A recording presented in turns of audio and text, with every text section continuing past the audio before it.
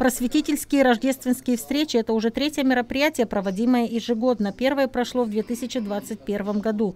Провели его научно-исследовательский центр Гагаузии имени Марии Маруневич совместно с Камрадским благочинием и партнерами из ученого сообщества страны и региона. За годы сотрудничества научного центра имени Марии Маруневич и Камрадского благочиния было реализовано немало проектов. Это книга «Православные храмы Гагаузии», «Чакировские чтения», переведенные на современный гагаузский язык тексты церковных литургий и, конечно же, презентация сегодняшнего песенного сборника «Гагаузларын Дин фольклор тюркюлеры». Его автором является Ресул Баы. Во время сегодняшних рождественских встреч э, прошла презентация последнего, результатов последнего проекта, совместного проекта Камрадского благочиния и партнеров НИЦ Гагаузия в лице наших коллег, ученых из Республики Турция.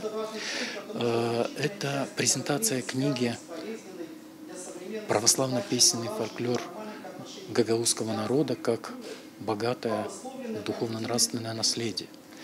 Э, за последние три года было собрано много материала в населенных пунктах автономии, в соседних населенных пунктах соседней Украины, э, где наши предки, бабушки, дедушки сохранили э, православные песенные традиции, дошедшие до наших дней. И мы сумели, собрав их, изложить на страницах одной книги, приложив туда и ноты. И теперь они станут достоянием не только нашим, но и наших поколений, будущих поколений.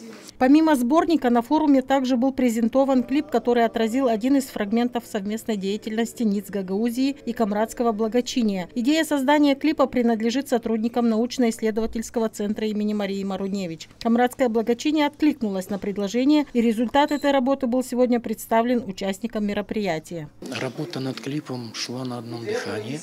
Э, собирался материал достаточно долго, на протяжении нескольких поездок мы собирали батюшек нашего камрадского благочиния вместе, выезжали на фоновые съемки, работали с нашими э, студиями, чтобы положить музыку качественно на этот, этот клип.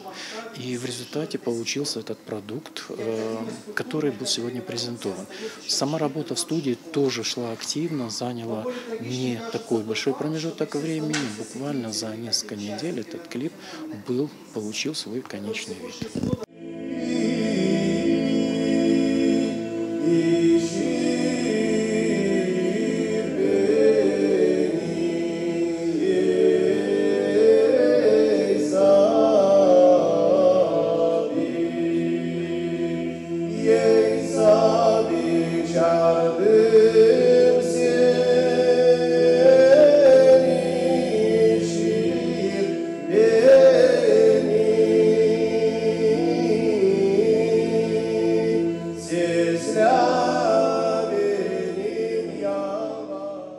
Не осталось в стороне и младшее поколение нашего христианского мира. Ребята из церковного хора села Копчак под руководством викария Виталия Зелинского представили свое выступление гостям мероприятия.